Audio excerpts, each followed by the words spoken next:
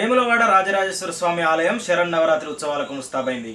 రేపటి నుంచి ప్రారంభం కానున్న దేవి నవరాత్రి ఉత్సవాల్లో భాగంగా జరిగే పూజా కార్యక్రమాల వివరాలను తొమ్మిది రోజుల పాటు జరిగే కార్యక్రమాలను ఆలయ ప్రధాన అర్చకుడు అప్పాల భీమాశంకర్ శర్మ మీడియాకు తెలిపారు.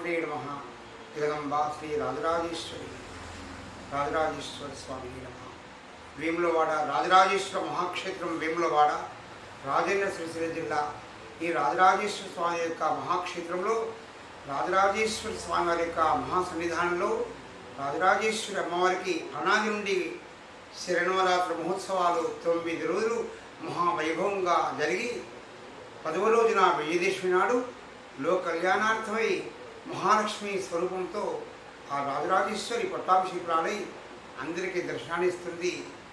ఆ పరమేశ్వరి రాజరాజేశ్వర అమ్మవారు శుభకృత నామ సంవత్సర ఆశ్వీజ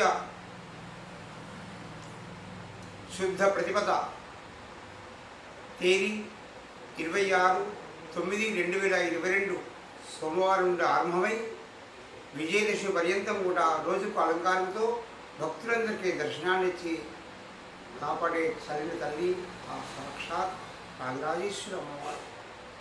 అమ్మవారి యొక్క అలంకారం ప్రతి నిత్యం కూడా తొమ్మిది రోజులు కూడా అలంకారంతో అనేక అలంకారాలతో దర్శనమిచ్చి పదవ రోజున మహాలక్ష్మి అలంకారంతో దర్శనమిస్తుంది సాక్షాత్ శ్రీ రాజరాజేశ్వరి అమ్మవారు.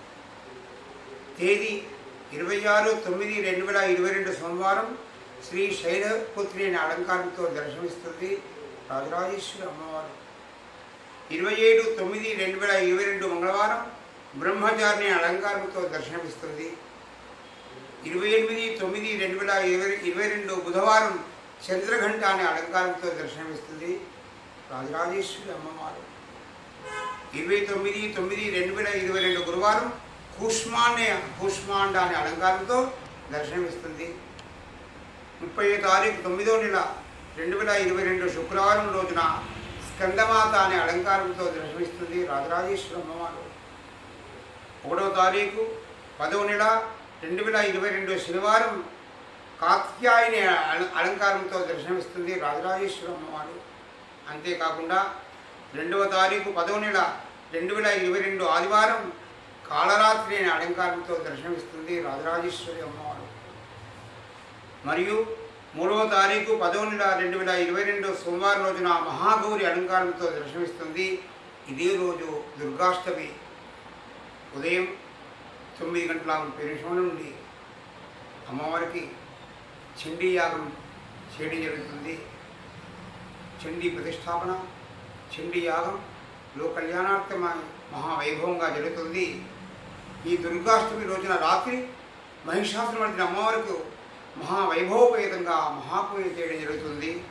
అంతేకాకుండా నాలుగో తారీఖు పదో నెల ఇరవై రెండు మంగళవారం సిద్ధిదాని అలంకారంతో ఆ రాజరాజేశ్వరి భక్తులందరికీ దర్శనాన్నిచ్చి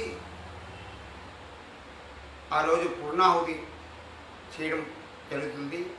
రాత్రి వేళందు ధర్మగుండంలో సాక్షాత్ పరమేశ్వరి సిద్ధిదాని అలంకారంతో తెప్పోత్సవంతో లోకల్యాణార్థమై భక్తులందరికీ దర్శనాన్ని ఇచ్చి ఆనందాన్ని చేకూర్చి చల్లగా కాపాడుతుంది. మరుసటి రోజు ఐదవ తారీఖు పదో నెల రెండు వేల ఇరవై రెండు బుధవారం విజయదశమి సాక్షాత్ రాజరాజేశ్వరి అమ్మవారు మహాలక్ష్మి అలంకారంతో శ్రీ రాజరాజేశ్వరి విజయదశమి రోజున భక్తులందరికీ దర్శనాన్ని ఇచ్చి సాయంకాలం ముందు విజయదశమి మహోత్సవంగా శమీ పూజ కొరకై సీమోల్లంఘనం చేసి గ్రామస్తులందరికీ వచ్చిన భక్తులందరికీ కూడా అందరికీ కూడా దర్శనాన్ని ఇచ్చి కాపాడుతుంది.